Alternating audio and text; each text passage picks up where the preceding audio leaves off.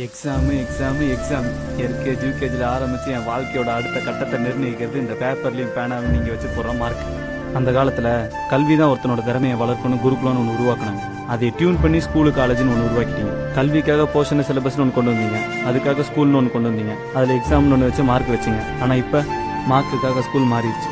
ஒரு பையன் state first வாங்கினா உடனே அஞ்சு லட்சம் ரூபாய் ஜாஸ்தி கேட்டாலும் பரவாயில்லன்னு சொல்லி கொண்டு வந்து பிள்ளை அங்க சேர்க்க டிவில விளம்பரத்தை போட்டு பாக்குறவங்க எல்லாம் பிரமிக்க வச்சு.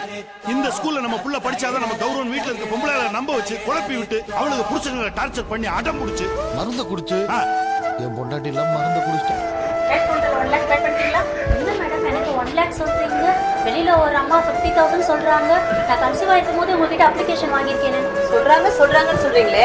அவங்க மேரேஜ் ஆன உடனே அவங்க புக் பண்ணிடுங்க. தெரியுமா? இங்க அட்மிஷன் கிடைக்கிறது அவ்வளவு ஈஸி ஒண்ணும் இல்ல. ஒரு வருஷத்துக்கு ஐயாயிரத்தி நானூத்தி எழுபத்தஞ்சு கோடி கல்வி வரி கட்டுறோம். இதை எதுக்கு பயன்படுத்தணும்? கல்விக்கு பயன்படுத்தணும். ஆனா அது மக்கள் கேட்கலையே. கல்வி எங்க உரிமை அதை ஃப்ரீயா கொடுங்கன்னு மக்கள் கேட்டாங்களா?